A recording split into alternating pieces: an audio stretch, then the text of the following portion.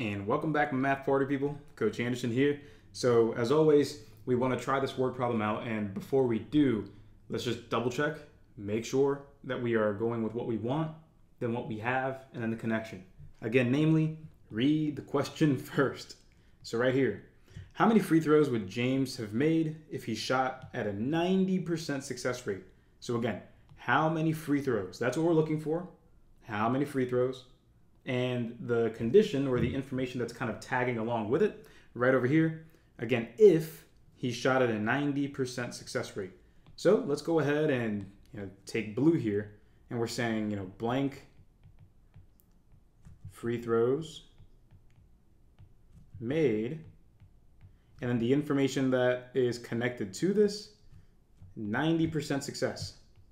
The hardest part about practicing for the ASVAB, in my opinion, is knowing when you're ready. Knowing that you are good to go and move on from this topic. And that's why our full program has a progress dashboard, letting you know exactly what you're good at and what you need to work on. And the great thing is, you can join our full program for free for a full week, no credit card required. That's our trial that's available for you. So go ahead and text trial to 833-3210182 or click the link in the description of this video to get started and have yourself a good time. Go ahead and do it, my ASVAB Porter people. I'll see you in there. So again, what we know, what we know is that the number that we're looking for, the number of free throws made, it's connected to a 90% success rate. And if we look at the information that's given, we may realize that this question is a pretty particular one because we see that it says in a basketball game, James made 12 free throws, and that corresponds with, equates to 60% success rate. So when we highlight this, there's something peculiar going on because we have two ideas that are being compared in the same way.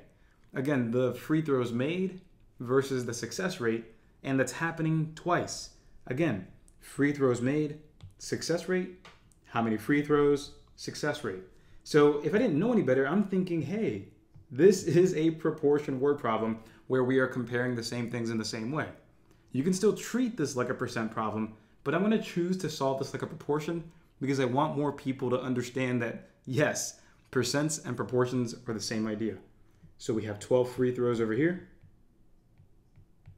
right there. And that corresponds with again a 60% success rate.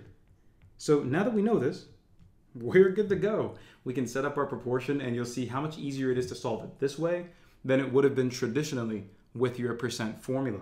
So with that, let's go ahead and set this up. I'll just say, you know, X free throws corresponds to 90%, again, right over there.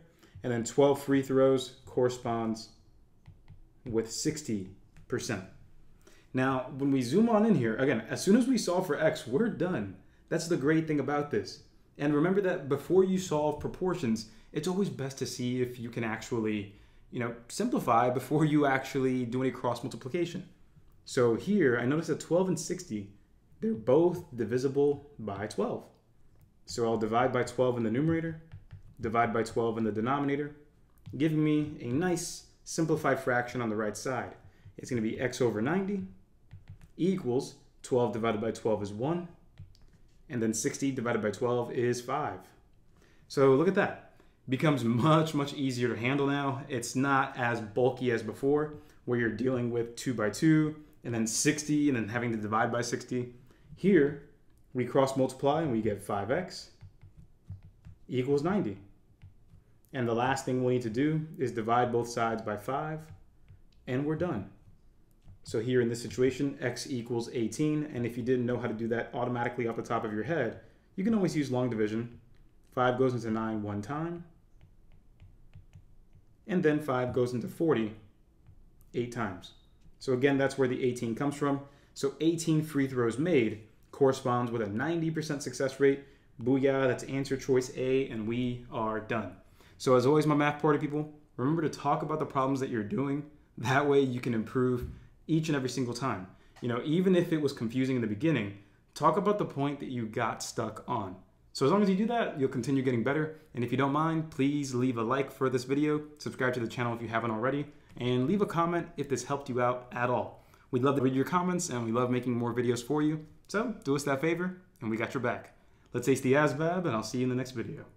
As always, thank you for watching our YouTube videos. If you want to give it a like or if you want to hit the subscribe button, that'd be amazing. And if you'd like to join our full program for a full week for free, no credit card required, go ahead and follow those directions right over there or scan that QR code to get started. Follow those directions and let's start acing the ASVAB. Coach Anderson out. I'll see you next time.